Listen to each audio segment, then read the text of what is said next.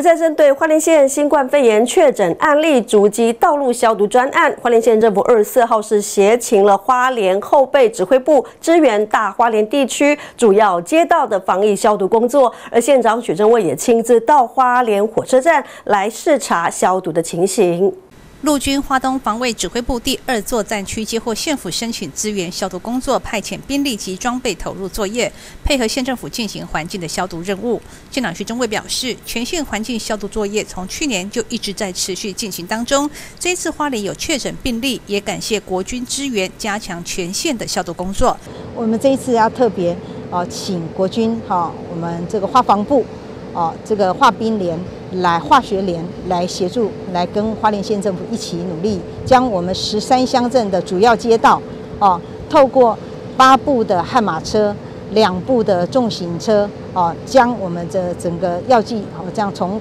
十三乡镇从头到花莲，哦，整个全部消毒完毕，哦，那另外消毒大队、防疫大队也很重要，因为对于我们很多的疫调，必须要这个非常机动的，而且扩大的消毒。所以我们这次请化冰联哈化学联来帮忙。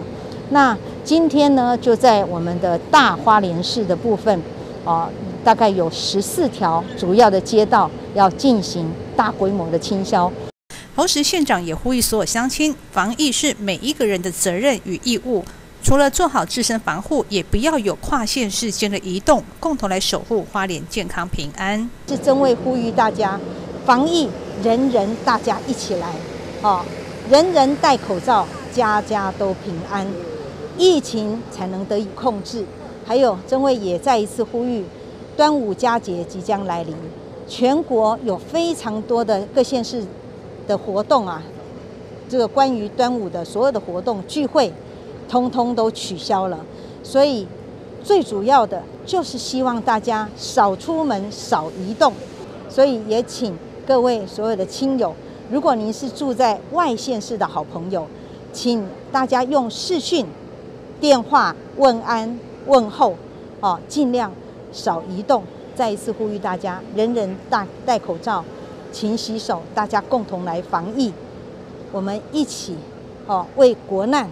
哦，为国家遇到的困难，我们大家共同面对，共同来解决。